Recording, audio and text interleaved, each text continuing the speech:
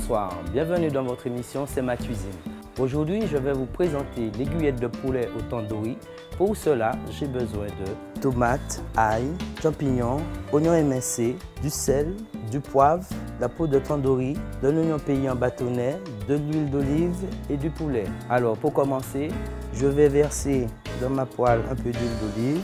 Ensuite, je récupère des aiguillettes de poulet. Donc c'est des escalopes de poulet que j'ai coupées en lanières. J'entends des, crépitements dans la poêle. Je rajoute un peu de sel et un peu de poivre. Mhm. Je rajoute ma peau de tandoori. Voilà, ça parfume bien le poulet, ça. Je vais rajouter les émincés, l'oignon, aussi, l'ail, les champignons pour garder le côté croquant.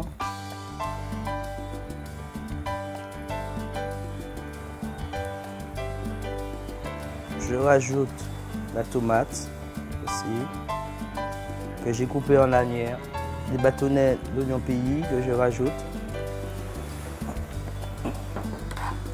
Et maintenant, nous allons passer au dressage de ce poulet tandoori.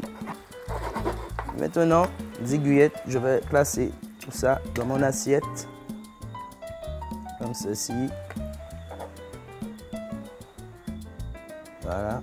Je vais rajouter quelques tomates en lanière fraîche par-dessus.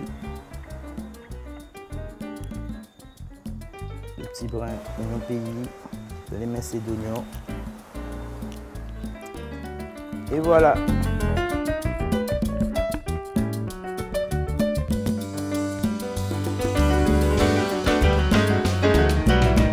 C'est un repas que vos enfants pourront apprécier.